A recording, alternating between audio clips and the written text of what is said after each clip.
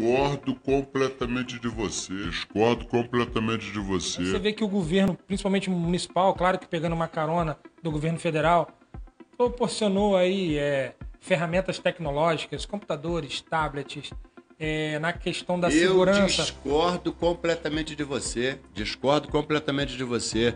É, Para mim, são ações midiáticas. Não são ações midiáticas. No ano passado, o município distribuiu 25 mil tablets para as crianças nas escolas. Um brinquedo. Não foi uma ferramenta pedagógica, não teve nenhuma importância sobre o nível da formação do nosso jovem. Foi um brinquedo. Se o município tem recurso para ofertar essa tecnologia, esse brinquedo aos, aos nossos jovens, eu aplaudo. Mas isso não é uma ação educacional. Não tem conteúdo pedagógico.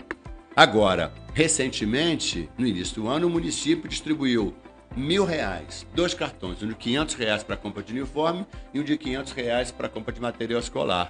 É importante, girou a economia do município. Quantos pais e quantas mães não têm recurso para compra do uniforme e para compra do material escolar? Ótimo. Mas o que nós precisamos, na verdade, é investir na qualidade da nossa educação, na formação dos nossos profissionais, sabe, recuperar as nossas escolas que estão, a grande maioria das nossas escolas são insalubres.